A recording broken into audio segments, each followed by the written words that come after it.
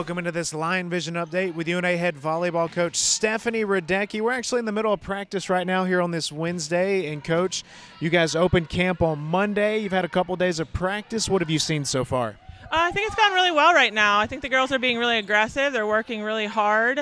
Um, obviously, we're doing a lot of ball control drills, so they're getting a ton of reps. So um, they are a little tired, but they're pushing through.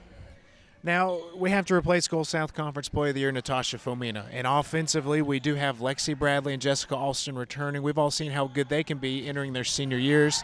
I guess for you and this team this year, who are some players that you want to step up that we should look out for on the offensive end? Um, I would definitely say Anna, um, Anna Pacheco. She um, played a little bit for us last year on the right side, um, so uh, I'm hoping that she'll kind of step up and fill a void for us. We're gonna have some new players that can serve some great roles for us. So um, it's kind of up in the air right now. We haven't really done a lot of hitting, so haven't really seen them do a lot of that yet.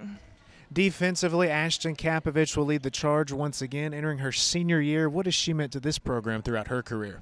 I mean, you really can't put that in words. She's been a huge player for us, and um, she's just such a consistent um, presence on the court. Um, and then, you know, she just always plays her best when we need her to. So she's she's a huge player for us, and we're really excited about her senior season picked first in the preseason Gulf South Conference poll. You've won the last two Gulf South Conference tournament championships, and we'll talk a lot about how tough the Gulf South Conference is going to be. But your non conference slate, you have two tough tournaments to open up this season. What does that outlook look like? Um, you know, I think opening uh, weekend is going to be a huge test for us. We open with some of the top teams in the country. Um, Southwest Minnesota State, Wheeling Jesuit, um, and South Carolina Aiken played. Sorry, uh, played in the Elite Eight last year. So we definitely have a huge test. Southern Indiana, Southern Indiana has a great program every year. We open with them, and we also go to their tournament second weekend. So um, it's just going to be a really good test for us to uh, get ready for the conference schedule.